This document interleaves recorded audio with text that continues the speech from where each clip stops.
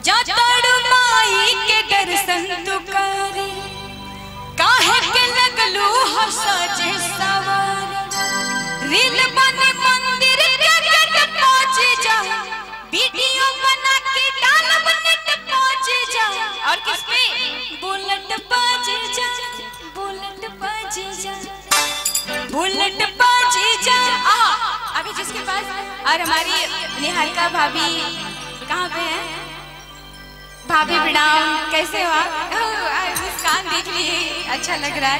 और हमारी आंटी जी आई हैं, चाची जी, आपको भी बहुत बहुत प्रणाम, बहुत बहुत आशीर्वाद की कामना। इसके बाद मैं आप लोगों से आके मिलूँगी।